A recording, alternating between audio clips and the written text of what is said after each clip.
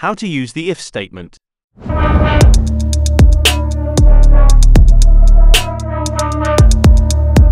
Today's video is sponsored by Klaus Schwab.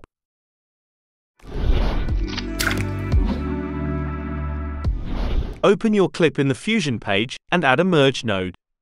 Bring your masked clip in empty space. I've used the magic mask to mask out my subject, but if you're in the free version you can start complaining and go cry in a corner while you spend 3 days masking manually. Connect the masked clip to the merge node as a foreground. Add a time stretcher node after your masked clip. Double click in the source time value to reset it.